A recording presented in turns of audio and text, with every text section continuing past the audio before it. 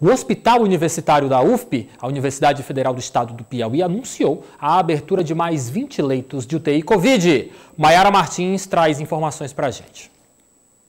Olá, Lívia, boa tarde. Boa tarde você que nos assiste aqui pela TV O Dia. Então, Lívia, a gente continua aí no enfrentamento à Covid-19, número de casos e também de óbitos vem aumentando aqui no estado, mas a gente tem aí o esforço dos nossos profissionais de saúde e também dos hospitais aí para atender os pacientes. Eu estou aqui no Hospital Universitário, onde atualmente, né, hoje, tem 19 pacientes que estão internados em leitos de UTI. Mas para quem vai dar detalhes né, para a gente sobre esses atendimentos, como é que está a situação atual do hospital, é o diretor aqui da unidade, doutor Paulo Márcio. Olá, doutor, boa tarde. Boa tarde. Bem-vindo ao Dia News.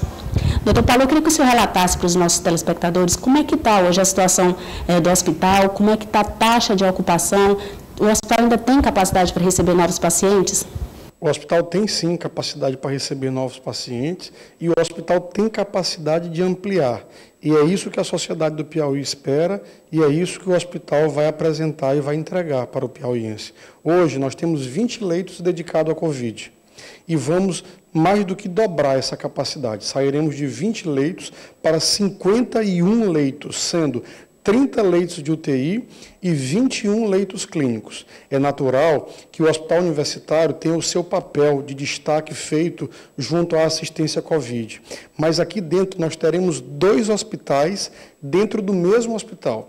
Um hospital Covid isolado, dedicado, com fluxo de entrada de pessoas, de entrada de funcionários, de saída de medicamentos e entrada de medicamentos totalmente independente de um outro hospital, que é o hospital não Covid, que é o hospital que não tem coronavírus, que não tem comunicação entre um hospital e outro. E o hospital não Covid também precisa funcionar. Por quê? Porque derrame cerebral, infarto, pneumonia, pedra na vesícula, queda de moto, tudo isso continua acontecendo e não está nem aí para o coronavírus. E nós, nesse momento, precisamos atender as duas coisas. Ou seja, a gente precisa tocar o sino e acompanhar a procissão. E vamos fazer.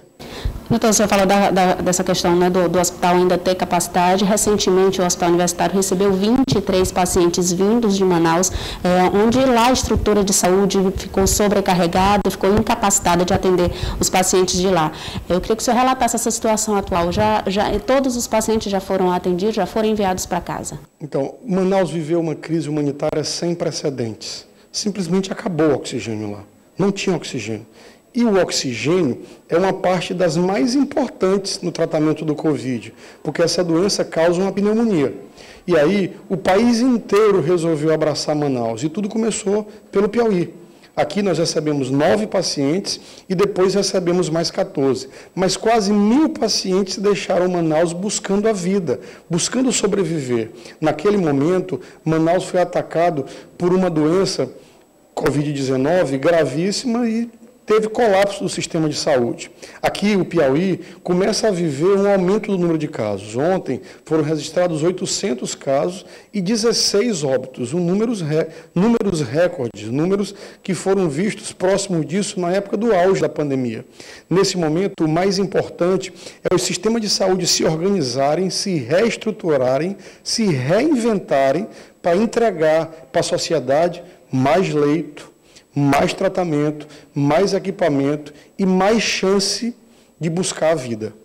O senhor falou, é, doutor Paulo, que o, o hospital é a questão de se reestruturar. A gente teve toda uma mobilização das unidades de saúde no início da pandemia e que com a queda no número de casos e também de óbitos, essas estruturas elas foram sendo é, desmobilizadas, digamos assim. E agora a gente está tendo esse aumento novamente no número de casos, também no número de óbitos, necessitando é, é, de novos leitos, de novos equipamentos, de novos profissionais. A gente chegou a experimentar lá no começo, também falta inclusive de EPIs, né, dos, dos, equipamentos de, de, proteção, mesmo a gente tendo o recurso para adquirir, a gente não tinha a disponibilidade desses equipamentos no mercado. Como é que está hoje a situação do hospital universitário nesse sentido? Temos esses equipamentos, temos esses insumos, essa estrutura para os atendimentos?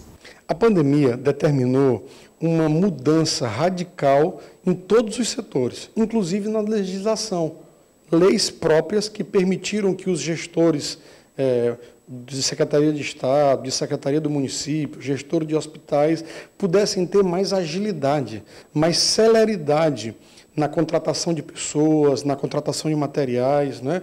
Muita gente fez coisa certa, alguns fizeram coisas erradas, né? então, inclusive, respondendo por isso. Mas o certo é que os bons não podem pagar os preços porque quem fez coisa ruim.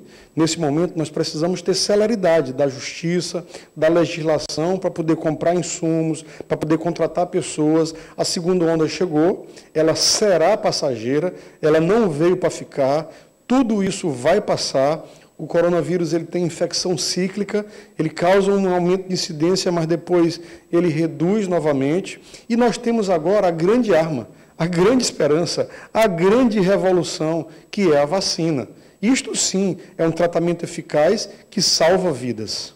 E, e, então, assim, com essas informações, né, o doutor Paulo acabou de anunciar aí que é, estamos aí com a, com a, na iminência de abertura de novos leitos, tanto clínicos quanto de UTI aqui no Hospital Universitário, caso haja necessidade. A gente torce para que não haja, né, que as pessoas possam não ter seu quadro de saúde agravado e ser vítima fatal dessa doença. Com essas informações, eu volto com você no estúdio. Ok, Mayara, muito obrigado. Informando, lembrando mais uma vez de que vão ser pelo menos 20 novos leitos de UTI Covid disponibilizados pelo Hospital Universitário da UFP. Mas é claro que nós sabemos que esses leitos não vão ser abertos de uma hora para outra. Por isso que é cada vez mais importante estarmos atentos ao que recomenda o poder público no que diz respeito à nossa circulação